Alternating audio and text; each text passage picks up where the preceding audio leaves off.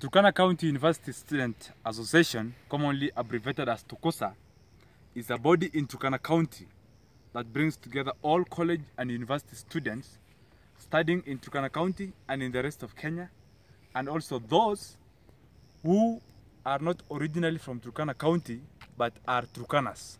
So that is Tucusa. Tucusa was formed in 1984 as Tudusa, Turkana District University Students Association. I am the current and outgoing president of Tukusa, and I have a team of other Tukusa management committee members who were elected with me in December 2014. And our term is coming to expiry this December 2016. Now, I wish to narrate to you what Tukusa has been able to do for the last two years I was in office as the president of the association. First of all, when we came into office, the amount of money required by the association for a comrade to be registered as a bona fide member was 500 Kenya shillings for membership fee and another 500 as membership renewal fee. When I came into office and after listening to the concerns raised by comrades, I reduced that amount of money with the rest of my Tukusa Management Committee officials to a mere 300, which is affordable for any Turkana student. So that is the first achievement we made when we came into office. Secondly, Tucusa had a patron who was inclined to a political uh, party in Kenya and who has or had political aspirations. So as Tucusa, we wanted to maintain the highest attainable degree of political neutrality and we appointed a man of God, an academic, a professor of education at the University of Nairobi School of Education, Professor Paul Ejore Ekeno, to be the new patron of Tucusa. That was the second achievement we made as Tucusa. Thirdly, we drafted a new constitution for Tucusa. Initially, the Tucusa constitution was in Tatas. Page 1 is uh, in Lodwar, page 10 is with the chairperson, page 9 is I don't know where. And this is a document which is governing the association, which is legally registered. So we drafted that constitution, subjected it to a public participation exercise, and members of Tucusa approved that new Tucusa constitution. So we have a new Tucusa constitution. And then we took advantage of technology to try to create a website for Tucusa. And currently, we have a Tucusa website, www.tucusa.co.ke. That is our website as an association. Inside the same website, we've incorporated an online database for members to register, where you just register and be a member of Tucusa and be included in the Tucusa database from the comfort of your bed, from the comfort of your phone or your iPad or your tablet. That is another achievement we made as Tucusa in trying to complement the already existing hard copy database we made as an association. And then we lost a comrade uh, who was studying at the University of Nairobi uh, and he was killed by a speeding motorist as first year student who was reporting for his second semester.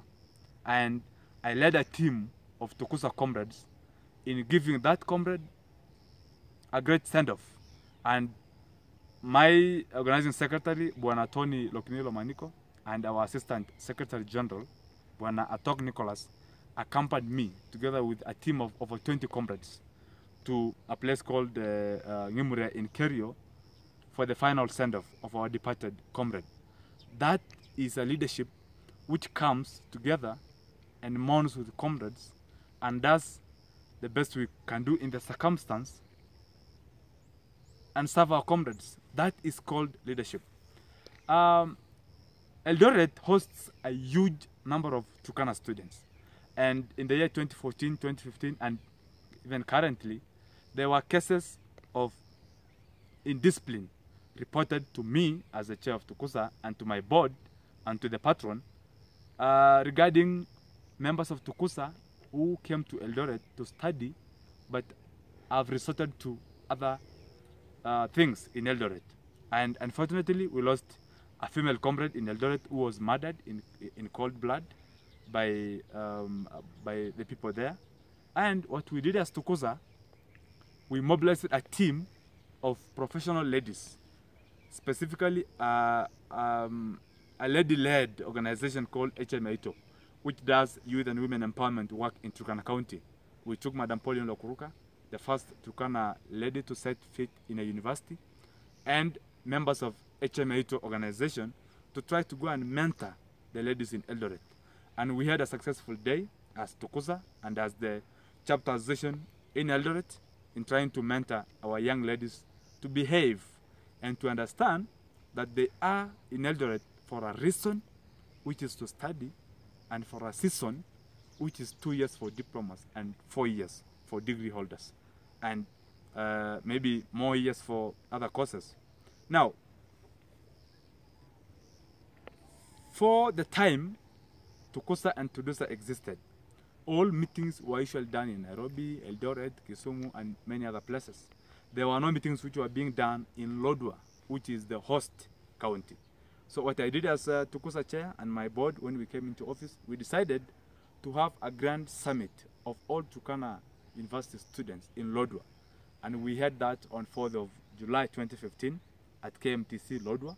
And we invited friends from the United States, an NGO called Global Green Grants Fund, which helped us in developing a documentary for Tucusa, which was played during the United Nations Climate Change Conference in Paris to indicate the youth empowerment that young people do across the world and which should be emulated by others in other parts of the world. Um, there was the issue of uh, Kapedo boundary case where I was invited by Turkana Professionals Association, TPA, and specifically Dr. Ekuru Aukot and uh, Madam uh, Mary Kanyaman, who is uh, the CEC Health in Samburu County government. And we went to Kapedo on a fact-finding mission to try to bring an end to the debate which was revolving around Kapedo. Kapedo is in Baringo County, Kapedo is in Turkana County, and vice versa. So we went there and addressed a huge public gathering in Kapedo, and we wrote a report and submitted to the relevant government agencies in Kenya. And it was confirmed that Kapedo is indeed legally, administratively, politically, and otherwise located deep inside Turkana County. That was an achievement which Tucusa did. There was the issue of conservancy in Turkana South, where Tullow Oil and other private entities like Northern uh, Rangeland Trust, NRT, colluded to try to bring the issue of conservancy in Turkana South and in Turkana County by extension without involving the community, the elected representatives, and other stakeholders. We as Tucusa, we decided to bring sanity to the whole process. We wrote a protest letter as Tucusa to the Ministry of Lands of the Republic of Kenya, to the National Land Commission, which is an independent commission, and to Tullow Oil, complaining why the conservancy issue in Turkana County is being done and shrouded in secrecy. And I was invited by the County Assembly of Turkana on behalf of Tucusa to address the committee of the whole house of the County Assembly of Turkana on why, as Tucusa, we are opposed to the idea of establishment of conservancy irregularly in Turkana South. And I am so proud to have been the first student leader in the Republic of Kenya to have ever been invited by a lawmaking body, a legislative assembly, to address them on a matter affecting the larger populace in Turkana County. There was the issue of students deferring semesters because of school fees challenges. I have been doing so many fundraisers on WhatsApp, on Facebook, and other social media sites, trying to raise funds for students who sometimes are evicted out of exam rooms because of they owe the school school fees as little as 3,000, 5,000, 7,000. That we did as a Tucusa Management Board, trying to convince and talk to our friends of goodwill to fundraise for our students. And we raised millions of money. One student we raised 50,000, another one we raised 130,000, Another one we raised 50,000 and so on and so on. That is what we did as Tucusa in trying to resolve the issue which was bedeviling and curtailing the dreams of university students from Turkana, you know, in scaling the heights of education. And one instant uh, where we organized a real fundraiser was in Thika, in partnership with a group called Turkana Association of Thika Students, TATS in Thika. And we had a fundraiser where we collected a total of 650,000 plus more to cater for school fees of our comrades. And I have been visiting comrades everywhere in the Republic of Kenya. I was in Kitui County. I was in Machakos County. I have been in Nairobi County so many times. I have been in Thika. I have been in Nakuru. I have been in Naivasha. I have been in Eldoret, which hosts a multitude of uh, uh, Turkana students. I have been in Egerton University, Moi University, Mount Kenya University, Great University, name them. I have been to all those universities with, with my other Tukosa management committee members trying to directly talk to our comrades and get from them what exactly they feel should be rectified in the school fees problem in Turkana County and how we as Tucusa can do a great role in trying to bring sanity in the whole process. And the issue of um, uh, Tucusa being an advocate of human rights in Turkana County, we decided to divide our work into three. Giving back to the local community in Turkana County. Number two, trying to advocate for student welfare and student rights, acting as a bridge between the students and the authorities, and vice versa. And trying to partner with relevant stakeholders like the Ministry of Education, the Diocese of Lodwar, and Turkana Professionals Association TPA in trying to bring an end to the issues affecting Turkana students, Turkana youth, and Turkana County in general. One of the best things we did as Tucusa during my presidency was we led a process in partnership with other stakeholders like Turkana Professionals Association TPA and the county government of Turkana in drafting a bill which will establish a HELB-like scheme, a loan scheme for Turkana students, a bursary scheme for Turkana students, a scholarship scheme for bright but needy Turkana students who want to pursue higher education. And that bill is currently uh, before the County Assembly of Turkana and it will be enacted into law in the near future and it will be the best thing to have ever happened to Turkana students, I think since independence. Uh, the County Assembly of Turkana enacted the Turkana Youth Council Act 2015, which establishes the Turkana Youth Advisory Board. And according to that act, we were required as Tucusa to nominate one Tucusa member to represent our interest in that particular youth advisory board. I, as the chair of Tucusa, nominated one Mr. Lokoma Didimas, a student of biochemistry at Kenyatta University, to represent Tucusa in the board. And his job is simply to articulate the issues affecting uh, Tucusa to, to, to our comrades. There is uh, the issue, the big issue, which is affecting Turkana County, and most people, including the press, are ignoring. And that is the issue of the destruction of Lake Turkana by the Ethiopian government, which is constructing the Gibe dams along the River Omo in Ethiopia. And River Omo is a shared river between Kenya and Ethiopia. Comes from Ethiopian highlands, drains into Lake Turkana across the border. And as Tucusa, we took cognizance of the fact that we can be a voice of our community. Mother Teresa said, in a gentle way, you can shake the world. And we decided as Tucusa to do a petition and submit it to the National Assembly of the Republic of Kenya, trying to voice out concerns on why the Kenyan government, which instead of fighting for the conservation of Turkana, went ahead to sign agreement with the Ethiopian government to buy electricity, which results from our water being blocked.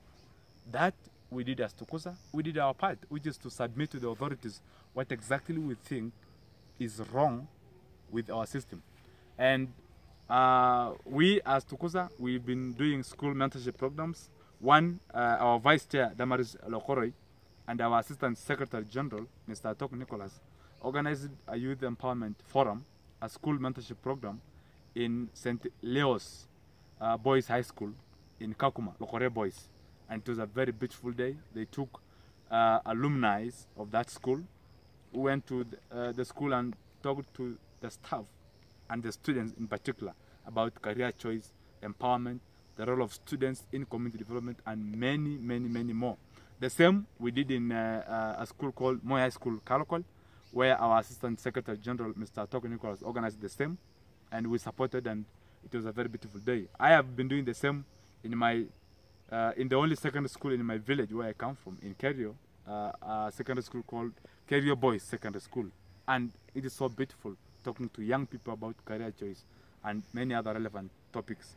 And as Tucusa, we believe that the future of this county called Turkana, the future of this country called Kenya, and the future of this continent called Africa lies right in the hands of young people.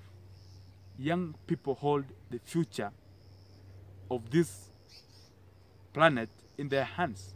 So we want to change the manner in which student leadership is being done in Turkana County. We want to be a group which advocates for the rights of our people. We want to be a group which fights for the interest of our people in Turkana County who took us to school proudly and most importantly are looking up to us with hope. That is the philosophy we wanted to bring into Tucusa as the new Tucusa management and many many many more we did and special thanks to our very able patron uh, Mr. Uh, Paul Ejore Ekeno my other Tucusa officials Mr. Tony Lokinei Lomaniko who is currently a student at Kalamazoo in Chicago and our vice chair my able vice chair Damaris Lokoroi who is currently in Turkana County and our assistant organizing secretary Bwana Ebongon Lomongin Lomaniko and our finance secretary Ms. Prisca Ekaale and I want to uh, pay glowing tribute to all of them for the good work they did for the last two years we've been in Tucusa. And I want to thank the Tucusa comrades for giving me an opportunity to practice leadership and be a better person. Comrades, power. Comrades, rear. Tuko pamoja.